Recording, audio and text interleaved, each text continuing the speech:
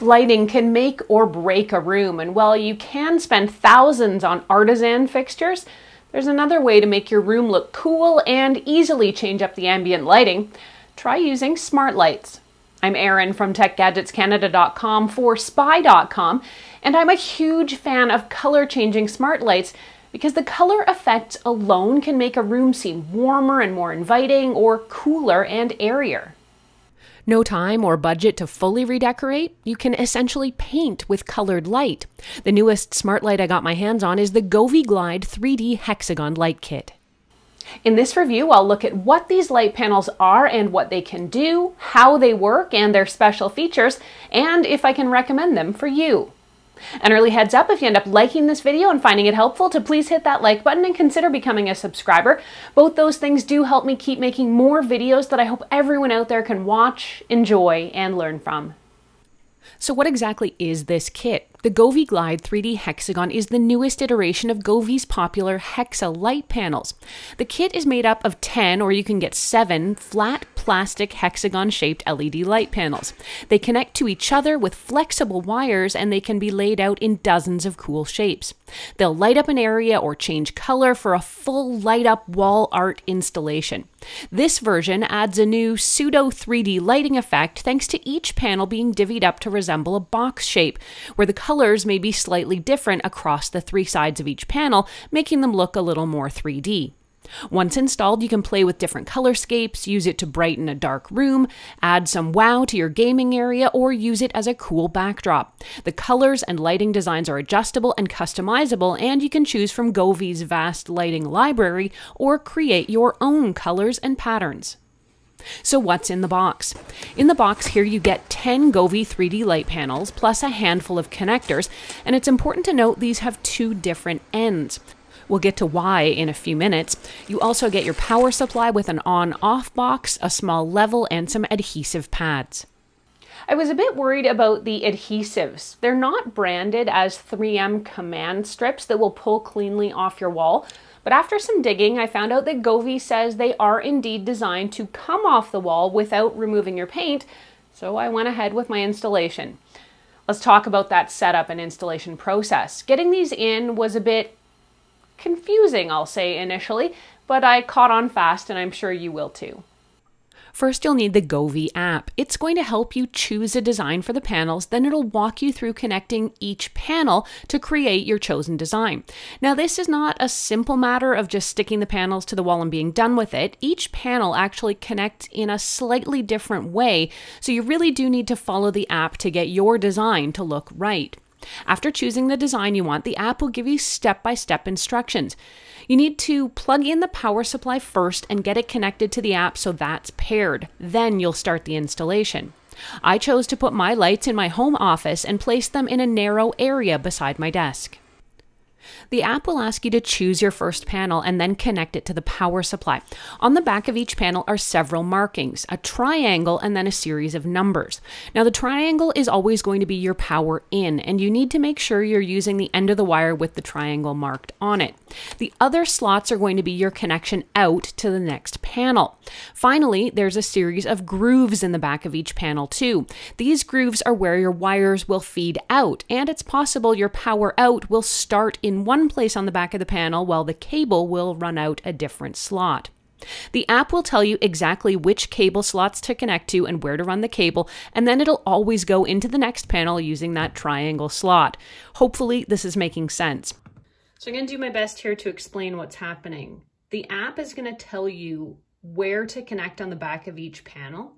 Now, you're always going to use the leading edge, the out, and that's got a triangle on it, it's always going to go into the triangle slot on the back of the panel. And these are clearly marked. You can see that's the triangle there. And then the rest of these all have numbers. So there's both a number for, I'll just take this mounting bracket off. There's a number for where you connect and it's 135 essentially. And then there's grooves or little slots in the panel where the cord might run out. So each panel is going to be different. That's kind of what makes it seem confusing, but once you get the hang of it, it's really not. So we're going to connect this one into the back through the triangle panel and it lights up. You can see it works. The next clue they give is all of the green sections on this are going to be pointing in the same direction. So we know that will be up. In the meantime, we're going to get the next cable connected. And what the app wants us to do here is to connect the next one out through the five and then run the cable through the six.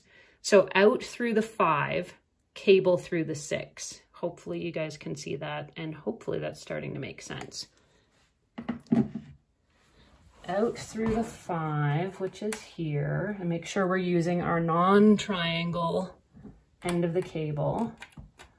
Out through the five, cable through the six, which is over here.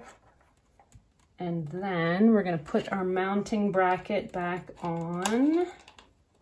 Get that lined up and then make sure the green part is oriented correctly and then get these lined up and then press and hold this into place for 30 seconds so that the adhesive has time to stick. It's been a few years since I tried a similar lighting kit to this and the last one I tried was Nanoleaf. Nanoleaf lighting panels at that time used basically just adhesive stuck straight to the back of the panels, which did make them kind of tough to remove and reconfigure if you wanted to. Govee instead uses little brackets that will actually clip onto the back of the lights and not just that adhesive stuck to the back of the panels. This is a genius idea. This means you can take the panel off without unsticking them so you can make adjustments if you need. I had all my lights up and installed in about 20 minutes. Now, with the lights ready, it was time to have some fun. Using the app, you can load up different color palettes or special effects. The Govee app is actually pretty easy to navigate and to use, and while it looks like there's a lot going on here, it's easy to find your way around. Plus, experimenting with these lights is half the fun. I quite like the 3D effect of these new panels. They definitely add another dimension to the light show. You can set your lights to run on a timer or to turn on and off at certain times of day. You can adjust the brightness, and the brightest setting is actually pretty bright. You can also opt to have your lights synchronized to music or to voices, and that's what's happening here in the background. And the sensitivity of this is actually fully adjustable. If you prefer just straight up color, you can have that too.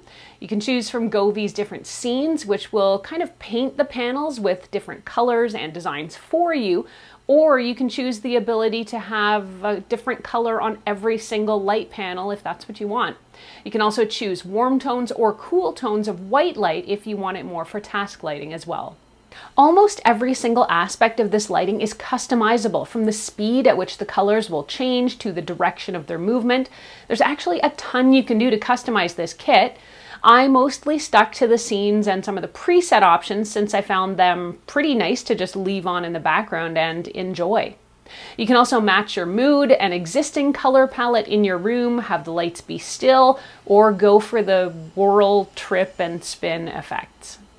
These lights also work with both the Google Assistant and Alexa for easy voice control. Just link your Govee account to either system, and with a couple clicks, you can turn them on and off, change colors, and Alexa. more.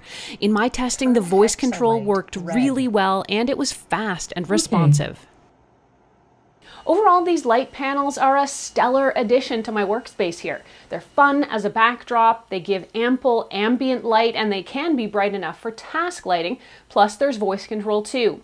They're easy to set up, easy to control, and with that removable adhesive, they can be repositioned anywhere. I'm really struggling to try and find some downsides, so I guess I'm just going to nitpick and say it would be nice if the kit came with a whole second set of extra adhesive pads instead of the two that I got, just in case I wanted to put it somewhere else, because as it is, I'm not really sure where to get extra adhesives. I'm sure I can probably find them on Amazon, but something I'll have to deal with down the road.